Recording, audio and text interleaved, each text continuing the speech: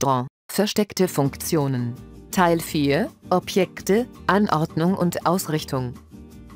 Die Videoserie in sieben Teilen zeigt versteckte Funktionen in Draw und wie diese angewandt werden unter Version 5.2. Grundlage dieser Videoserie ist das Vortragsvideo von Armin Legrand unter eine Anleitung und weitergehende Informationen in Schriftform finden Sie unter Wir öffnen Draw. Wir öffnen die bestehende Arbeitsdatei Draw-Objekte.odg. Ändern der Anordnung von Objekten.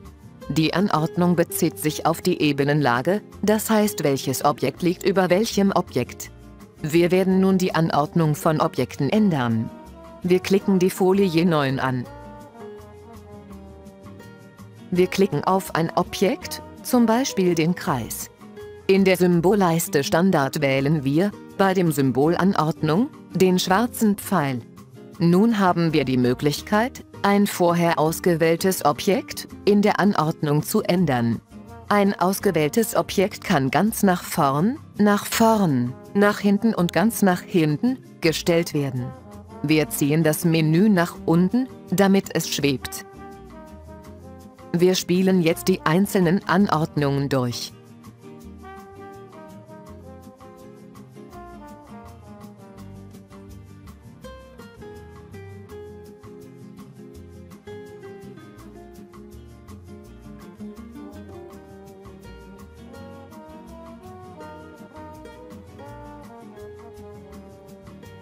Wir werden nun Objekte in ihrer Position ausrichten. Dazu muss im Menü Extras Optionen Raster ein Häkchen gesetzt sein bei Fangen an Fanglinien. Das Einrasten von Objekten an Fanglinien kann im Menü Extras Optionen Raster mit dem Wert bei Fangbereich, zum Beispiel 20 Pixel, unter Umständen verbessert werden.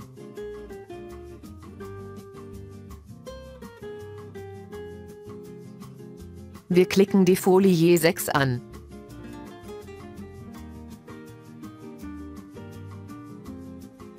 In der Symbolleiste Standard wählen wir, bei dem Symbol Ausrichtung, den schwarzen Pfeil.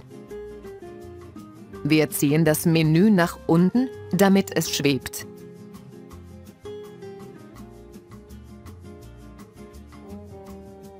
Nun haben wir die Möglichkeit, Objekte auszurichten, nach links, zentriert und rechts, sowie nach oben, Mitte und nach unten. Wir spielen jetzt die einzelnen Ausrichtungen durch.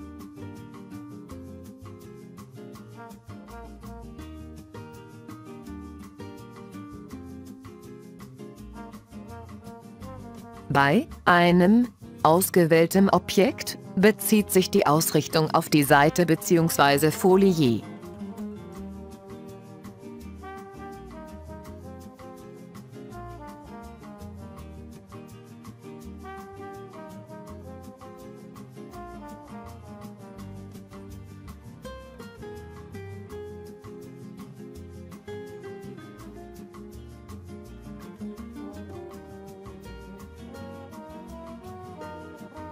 Bei mehreren ausgewählten Objekten bezieht sich die Ausrichtung relativ zu den Objekten.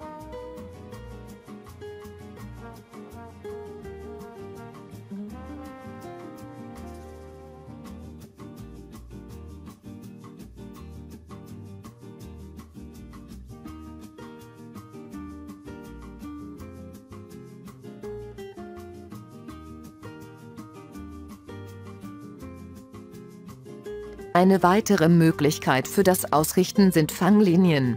Mit gehaltener linker Maustaste vom Lineal aus, können wir eine Fanglinie nach unten ziehen. Es können beliebig viele Fanglinien, horizontal und vertikal, gezogen werden. Fanglinien können auch über das Hauptmenü Einfügen Fangpunktlinie einfügen hinzugefügt werden. Es kommt dann eine Dialogbox mit den Auswahlmöglichkeiten Punkt, vertikal oder horizontal und die Angabe der Position.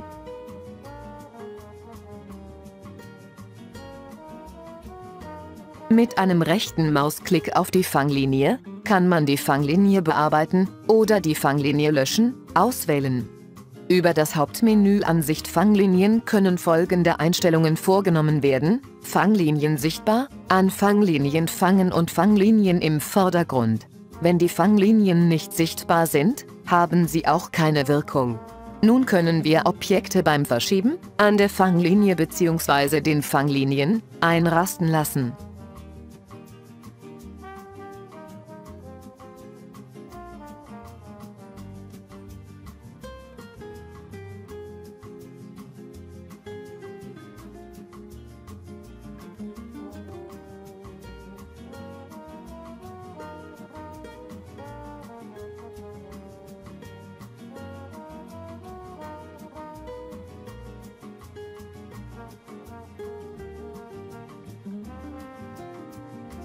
Fanglinien können auch zum Lineal zurückgeschoben werden.